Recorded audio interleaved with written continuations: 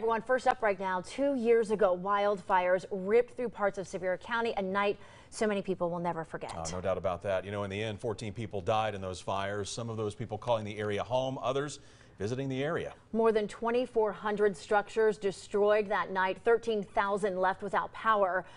What happened, as you well know, still touching those who lived through the devastation. In our top story tonight, 6 on your side reporter Laura Holmes speaking with a person who lived through that horrific night. She joins us now live here in our studios with what is being said two years later. Laura? Mm -hmm well, so many of us have vivid memories of where we were and what November 28th, 2016 was like. Today I visited the Williams family who tells me they're feeling a real wide range of emotions when it comes to this difficult anniversary. It took about 20 months for the Williams family to rebuild and get back to a sense of normalcy.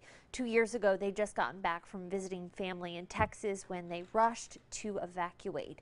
Be Becky Williams telling me on this anniversary anniversary, she's keeping the families who lost their loved ones in this wildfire closest to her heart.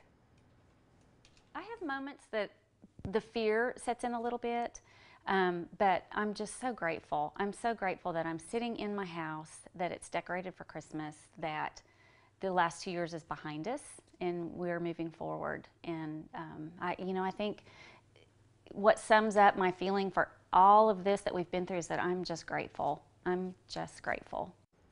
Coming up at 5, I have more on what this family was able to salvage from the ashes and what they're thankful for this holiday season. Bo, Kristen? Mm, all right. Thank you so much, Laura. And again, others remembering the wildfires today as well. That's right. The city of Gatlinburg and Sevier County both sharing this statement saying, quote, despite all that was lost, the disaster did not take the unmistakable resolve of our community.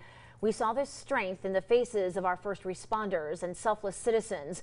We see it throughout the community today as we continue to heal. Hashtag Mountain Tough. And again, as Laura just mentioned, we're going to hear from wildfire survivors tonight at 5. And then tonight at 6, we'll hear from a local first responder among the first from his department to respond to those wildfires.